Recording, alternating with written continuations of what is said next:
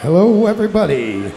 Please welcome to the stage Tom Reardon and the only guy with a cooler jacket than me in this house, Tom Lopez.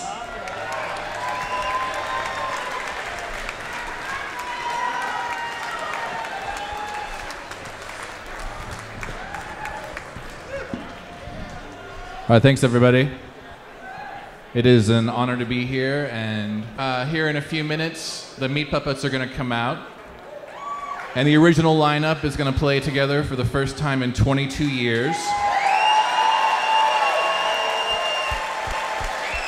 to honor these guys is it's amazing to be here. Um, growing up listening to them and then uh, emulating them at least twice a year. When, when my band practices, we play a riff and we think, wait a minute, that's a Meat Puppets song. Then we figure out which one we're ripping off and we move along. But um, but just a little, you know, a little quick history. Uh, out of the ashes of the Atomic Bomb Club rose the Meat Puppets. Uh, there's never been another Phoenix band like them. But from the beginning, the band didn't really know where they fit in.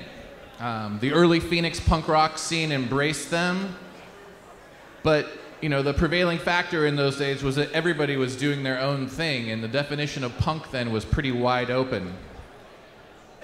We're a scene of weirdos, and the Meat Puppets fit that bill. And there's a lot of weirdo musicians in Phoenix. Maybe more, yes, maybe more per capita than anywhere else in the world, and that's a good thing. When the puppets broke into playing shows around town or down in Tucson or LA, people didn't know what to think of them. And the Meat Puppets, I don't think they knew what they wanted people to think of them, except that they rocked. But they were part of the scene, they were following the consumers and the exterminators, which Chris is now a member of, and the feeders and the liars. They were part of the underground. Derrick, Chris, and Curt started off playing super fast, crazy, noisy, psychedelic blasts of insanity that nobody quite knew how to classify. You could smoke weed, drop acid, drink beer, or be bone sober and still appreciate them. As the punk rock scene here in town changed and became more regimented, the Meat Puppets zigged when everybody else zagged. They explored their primary influences and began to master their instruments. They dug into their collective roots, not only underground music, but classic country, rock, and jazz that danced along a culture, counterculture vibe. I've interviewed Chris and Derrick a number of times, and it's always a treat. These guys have a reverence for the scene that gave birth to them It's amazing.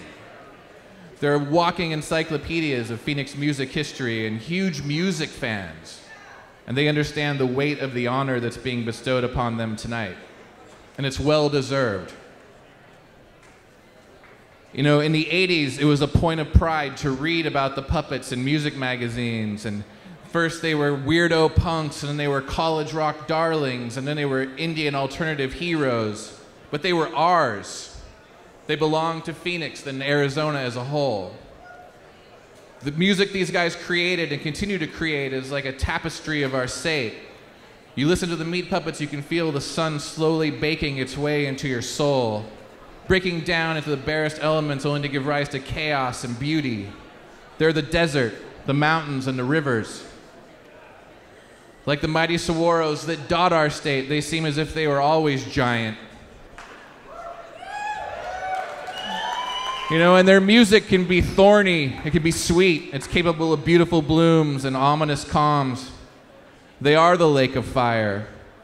And to many of their peers, they seem like they're up on the sun. When I talk to bands from all over the country and the world, one thing that's a constant source of amazement to me is how, how many of these bands were influenced by the Meat Puppets. To hear a guy like J Mascis from Dinosaur Jr. light up when talking about the first Meat Puppet 7 inch. It's like flipping a switch, and if you know J Mascis, he's not exactly animated. But bring the puppets up, and he turns back into a 17 year old music fan. You know, the journey that brought them here was not always easy, but none of the guys that were inducted tonight had an easy step here. So, you know, in the end, it doesn't matter. It doesn't matter what they sound like. The Meat Puppets have continued to work hard to improve their sound, and to share the stage with them has been an honor. Chris, Curt, Shandon, Elmo, Derrick, you guys have made an indelible mark on the music that comes from our state, and it's an honor to be a part of this. Thank you guys, and congratulations. This is Tom Lopez. Hello, Phoenix, Arizona. It's an honor to be here tonight. Thanks for all the memories. Long live the Meat Puppets and congratulations. I would like to introduce Clear Bob to the stage to induct the Meat Puppets. Where's Clear Bob? There he is. Blacks. Ah. This is for you.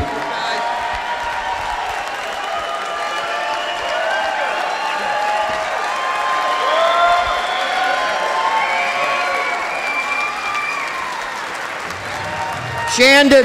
Who you got there, Clear Bob? There you go. Thank you. Shandon Tom.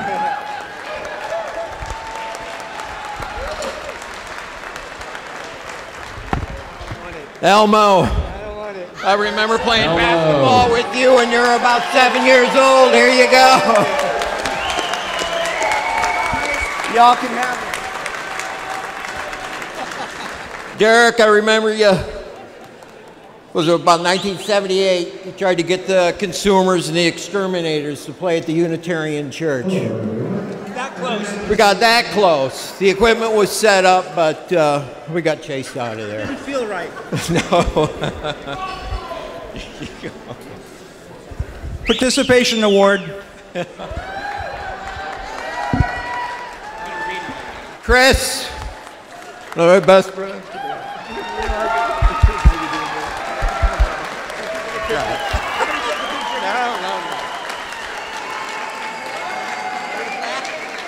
I got a call, what, 78, I think. It was Jesse. He goes, Hey, you got to come to this house party these guys playing. Come down there, it's Chris and Curt. Playing what? Um, one size fits all, I think. A bunch of really bitchin' Frank Zappa songs. Sitting down. Pygmy Twilight. Creepy Twilight? Pygmy Twilight. Broken in the Pygmy Twilight. yes. That, was, so cool. I invited them over, and of course, Mary and I moved to Hollywood before they made it. But then, in yeah, in Hollywood, we're getting um, Wiley was getting tapes by Elmo and the Electrocutioners. Yeah, David Wiley, singer for the Consumers, first punk rock band in uh, Phoenix, Arizona. Second punk rock band, the Exterminators. I heard that, and uh, the LA music scene, as, as good as it was, uh, the music was pretty corporate.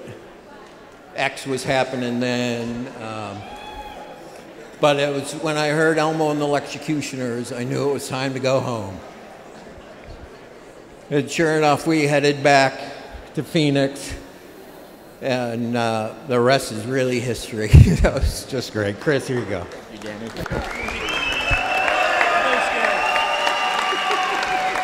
And Curt, in recognition of outstanding achievement and major contribution to the entertainment culture in the state of Arizona, congratulations, my man.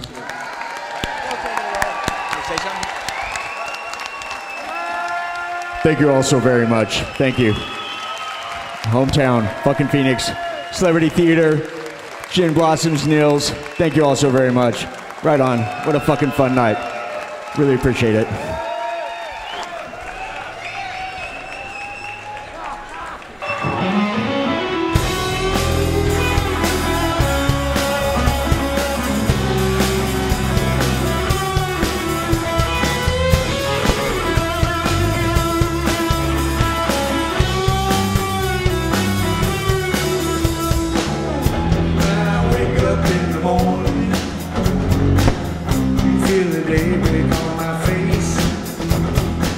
love.